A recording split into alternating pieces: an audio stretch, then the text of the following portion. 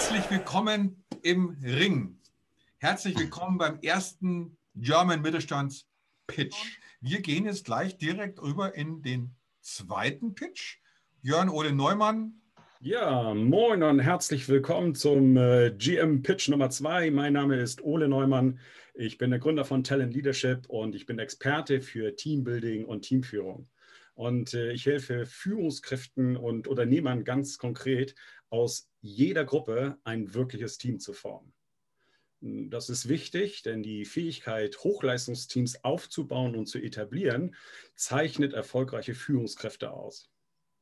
So, die nackte Wahrheit ist, oder wie wir in Norden sagen würden, ähm, Butter bei die Fische, ähm, ihr befindet euch mit eurem Business auf stürmischer See. Warum?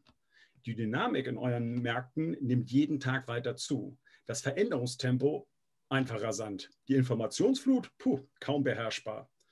Und ähm, die Kunden, eure Kunden, werden von Tag zu Tag zickiger, der Wettbewerb härter. In diesem anfordernden ähm, Business und Umfeld bleibt für die Mitarbeiter normalerweise kaum Zeit.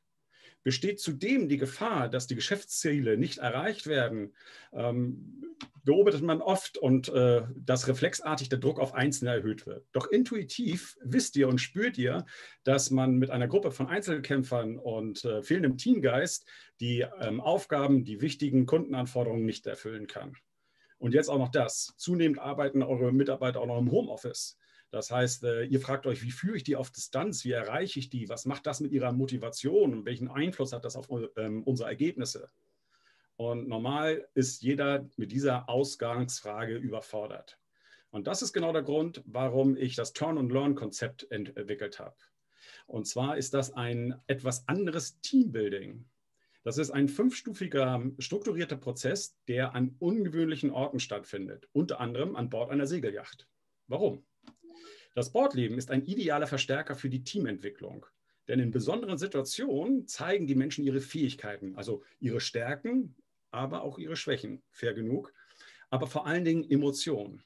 Ja, also sie erleben hautnah diesen einzigartigen Teambuilding-Mechanismus. Und zwar erstens, dass man Teamführung lernen kann, warum es für das Team ist, äh, wichtig ist, seine Komfortzone zu verlassen und warum die Begeisterung der Schlüssel für ein nachhaltiges Wachstum ist und der Umstand, der aus jeder Gruppe ein wirkliches Team formen lässt. Also ein Team, das mit seiner Leidenschaft und Energie ähm, den Kunden seine äh, Ideen zeigt und sie entsprechend begeistert. Und was tun begeisterte Kunden? Richtig, sie kaufen. Und wenn ihr mehr darüber erfahren wollt, dann freue ich mich jetzt gleich auf eure Fragen. Vielen Dank. Großartig. Dann bin ich ja schon gleich gespannt, welche Fragen noch gleich im Nachgang kommen. Werner, Ingolf, Carola, wer startet von euch? Ja, Teambuilding, spannendes Thema. Ich überlege mir auch jedes Mal für mein Team, wo könnten wir hingehen, wo ist es wirklich cool. Ähm, die Idee, an äh, außergewöhnliche Orte zu gehen, ist noch nicht so ganz neu, würde ich sagen. Ähm, was ist jetzt trotzdem nochmal der Unterschied ähm, zu deinem Angebot, dass du sagst, ja gut, ich meine, auf den Himalaya kann jeder gehen, aber mit mir auf den Himalaya gehen ist noch cooler?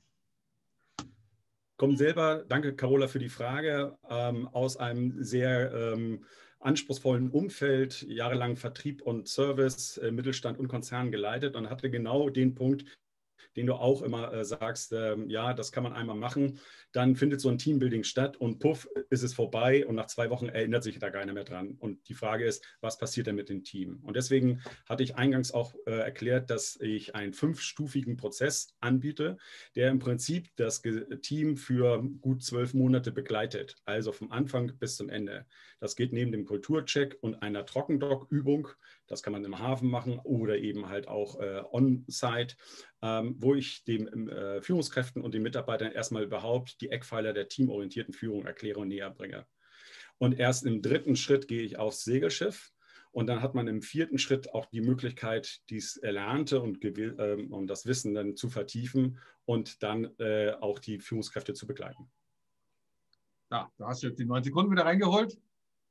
Äh, so, dann haben wir eine weitere Frage, entweder von Werner oder von Ingolf. Dann würde ich gleich anfangen, äh, wenn ich darf, Ingolf, äh, mal ein bisschen vor. Meine, ich habe eine zweigeteilte Frage. Die eine Frage, wie groß dürfen denn die Teams sein oder bis zu einer was für einer Maximalgröße hast du die Teams? Und das Zweite ist natürlich in der aktuellen Zeit auch, gibt es eine Art Corona-Edition? Ja, auch vielen Dank für die Frage, Werner. Ähm, es dürfen maximal, also wenn wir an äh, Bord einer Segelyacht sprechen, ähm, zehn Personen sein, ja, die äh, zusammen dann agieren können. Es wird darüber hinaus wird es dann zu viel. Ist die ähm, Unternehmensgröße hm. größer oder die Teilnehmergröße, kann man das aber auch auf zwei Boote verteilen, ist kein Problem. Und das Corona-Ersatzprogramm ist so, wie ich ähm, vorher vielleicht auch schon angedeutet habe, da das ja ein fünfstufiger, fünfteiliger Prozess ist, der beginnt mit einem Kulturcheck ähm, auf der Firmenseite und auch mit einer ähm, eintägigen Veranstaltung, dem sogenannten Trockendock, wo ich auf die Grundpfeiler der teamorientierten Führung eingehe, kann man das auch on-site machen. Und auch erst dann, wenn man dann gesegelt hat und das verarbeitet hat, hat man dann die Möglichkeit, in Schritt vier das zu reflektieren und zu verarbeiten und im fünften Schritt tatsächlich dann die Führungskraft und das Team mit dem Coaching zu begleiten. Also so findet nur ein äh, Element an, an, an Bord einer Segelyacht statt. Und wieder die nächste Frage. Ja, äh, Ole, von meiner Seite die Frage, du hast die Aussage gebracht, du machst aus jeder Gruppe ein erfolgreiches Team, ähm, ist sehr, sehr sportlich. Ich will mal behaupten, die, die Lebenserfahrung zeigt, dass es nicht mit jeder Gruppe möglich ist. Wenn du einen Frauenapfel in der Kiste hast, dann wirst du den äh, kaum äh, zu einem attraktiven roten Apfel umformen können. Wie gehst du mit solchen Fällen um? Das, das, das, stimmt. Das ist aber auch keine ähm, Ausschließlichkeit an der äh, Stelle. Vielen lieben Dank für die Frage, Ingolf. Und das ist tatsächlich immer genau äh, der eine Punkt, wenn man sagt, äh, es ist immer einer dabei, der das alles doof findet, der das alles, alles nicht will, äh, der das alles nicht mag. Aber durch diesen Mechanismus, durch diesen Teambuilding-Mechanismus, indem man ähm, versucht, charmant die Leute aus ihrer Komfortzone zu bringen und das tatsächlich dann nachher auch in das tägliche Business äh, trägt, kriegst du die Leute über die Spur und deswegen auch äh, was Nachhaltiges, kriegst du die tatsächlich ähm, äh, mit, mit Energie und mit Lust ähm, ähm, daran, dass sie sich am Team beteiligen. Äh, ganz kurzfristig wird es für eine Aktion nicht gehen, dann sind die nicht bei dir und da bin ich auch bei dir, dass die das nicht sind. Aber wenn du tatsächlich ähm, das ernst meinst und da ist die Führungskraft selber, äh, die einen kooperativen Führungsstil gerne mag, ähm, gefragt, dann äh, schaffst du das. Aber natürlich dann auch nur über den langen Atem. Also der Ole hat das mit dem Timer wirklich super, super, super im Griff. äh, lieben Dank. Ich starte schon mal die Umfrage äh, an alle. Diesmal, jetzt habe ich die Diskussionsteilnehmer abstimmen mit angehakt. Jetzt gucken wir, ob ihr dann möglicherweise auch mit abstimmen dürft. Oder ob jetzt möglicherweise nur noch die Diskussionsteilnehmer abstimmen dürfen. Das wäre dann nicht. Jetzt geht's. Jetzt geht's. Okay. Ich hoffe, ja. dass die Teilnehmer, also die Zuschauer auch abstimmen können.